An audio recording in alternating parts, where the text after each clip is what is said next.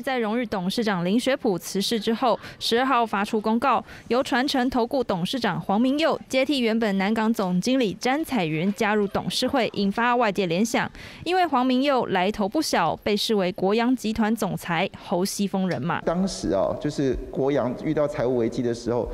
的会计师，把整个国阳建设从呃，几乎快倒的情况下，扶植成现在的大集团。过去呢，曾经有三笔盘后大量的交易，这占南港轮胎高达十二个百分点的股权，大概是由侯西峰所代表代表的国阳建设，很可能就是其中。最大的一个金主，人称借壳大王的侯西峰是林学普生前好友，两人生涯境遇雷同。侯西峰过去曾经借壳入主国阳建设，林学普也曾入主国风、南港轮胎等公司，获得重整大王的美名。但一九九七到两千年亚洲金融风暴，两人都栽了跟斗。为了护盘股价，侯西峰挪用公司资金，而林学普则融资进场，最后爆出内线交易，双双被判刑。但对于资产开发相当有一套的两人，最后都成功东山再起。本来都是有的是有的是关到监狱，有的是破产，但是呢之后都一样的崛起啊，而且都是以南港作为发基，所以对南港这块土地最熟悉的，哦